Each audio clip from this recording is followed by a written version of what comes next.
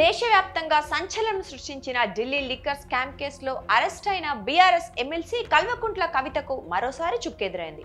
ప్రస్తుతం ఆమె జ్యుడిషియల్ కస్టడీలో ఉండగా ఆ కస్టడీని జూలై ఇరవై ఐదు వరకు పొడిగిస్తూ ఢిల్లీలోని రౌస్ అవెన్యూ కోర్టు న్యాయమూర్తి తీర్పిచ్చారు. వీడియో కాన్ఫరెన్స్ ద్వారా కవితను తిహార్ జైల్ అధికారులు న్యాయమూర్తి ముందు ప్రవేశపెట్టారు. ఈడీ కేసులో విచారణ జరిపిన అనంతరం కవిత కస్టడీని జూలై ఇరవై ఐదు వరకు పొడిగిస్తున్నట్లు న్యాయమూర్తి తెలిపారు.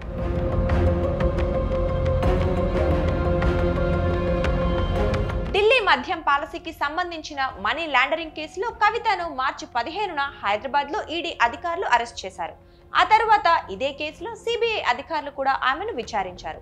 అనంతరం న్యాయమూర్తి కవితకు జ్యుడిషియల్ కస్టడీ విధిస్తూ వస్తున్నారు.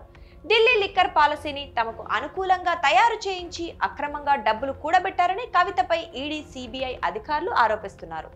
ఇందుకు గాను ఆ పార్టీకి కవిత వంద కోట్ల రూపాయల లంచం ఇచ్చారని అభియోగం మోపారు. ఆ వంద కోట్ల లంచం సొమ్మును సౌత్ గ్రూప్ సిండికేట్ నుంచి కవిత వసూలు చేశారంటూ ఈడీ ఛార్జ్షీట్లో వెల్లడించింది.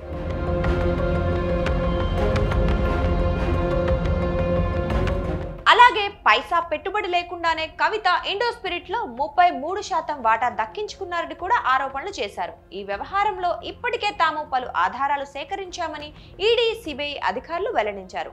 మరికొన్ని ఆధారాలు సేకరించాల్సి ఉందని కవితను విచారిస్తే తమకు కావాల్సిన వివరాలు దొరుకుతాయని అంటున్నారు. దీంతో రౌస్ అవెన్యూ కోర్ట్ ఆమె కస్టడీని పొడిగిస్తూ వస్తోంది. ఇక ఈ కేసులో తనకు మధ్యంతర బెయిల్ ఇవ్వాలని ఆమె పలుమార్లు కోరిన న్యాయస్థానంలో ఆమెకి చుక్కెదురైంది. మార్చి పదిహేను నుంచి దాదాపు నాలుగు నెలలుగా ఆమె కస్టడీని పొడిగిస్తూనే ఉండటంతో తీహార్ జైలుకే పరిమితమయ్యారు.